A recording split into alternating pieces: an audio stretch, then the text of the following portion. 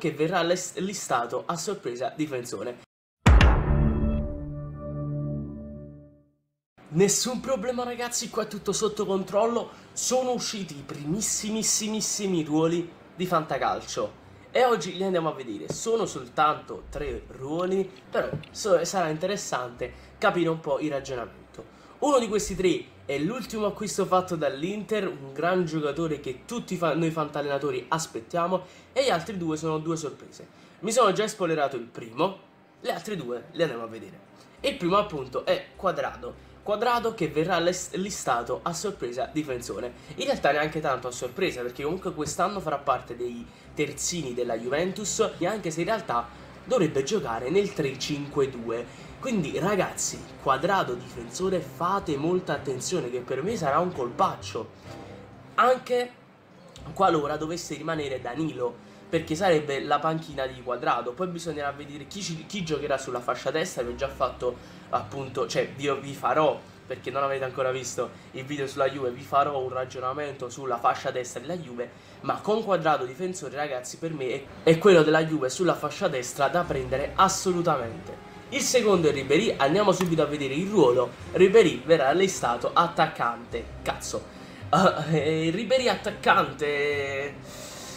Mi ha colpito, cazzo, mi ha colpito perché Ribery da centrocampista era un, un centrocampista della Madonna, ma attaccante adesso non lo so quanto abbia valore da attaccante. Comunque non, in fantacalci da 6-8 persone non lo vedo neanche nei tre di attacco titolari, perché comunque Ribery ha una certa età. È vero, l'anno scorso ha fatto una stagione della Madonna però nel fantacalcio il centrocampista è una cosa e Ribéry l'anno scorso da centrocampista ha giocato da top quelle partite che ha giocato e non era infortunato ma da attaccante non so quanto possa rendere perché comunque non è un giocatore che ti fa 15 gol, 10-15 gol è un calciatore che ti, ti prende il voto buono perché ti gioca bene e può metterti diversi bonus che possono far comodo da centrocampista ma non so quanto da attaccante Ribery quindi cambia un po' di appetibilità. L'ultimo appunto è l'uomo a questo dell'Inter, Hakimi. Andiamo a vedere, Hakimi verrà listato difensore. Hakimi sarà un colpaccio, signore, sarà un colpaccio. Lo scorso anno 2 gol e 8 assist in campionato,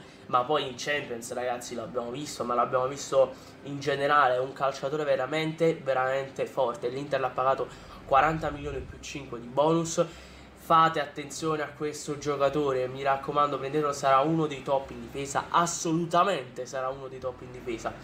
E che dirvi, questi erano i tre giocatori, beh, sono due ruoli, ci sono due giocatori di cui il ruolo è molto interessante, Hakimi e Quadrado, ma c'è Ribery che viene un po' rovinato mettendolo come attaccante. Niente ragazzi, io spero che questo video vi sia piaciuto, cosa ne pensate di questi tre ruoli? Io penso che Hakimi e Quadrato saranno due dei top della, della prossima difesa dei nostri fanta, dei nostri fanta team, delle nostre fanta squadre, delle nostre leghe, soprattutto Hakimi. Fate attenzione. Ragazzi, io vi saluto, ciao a tutti.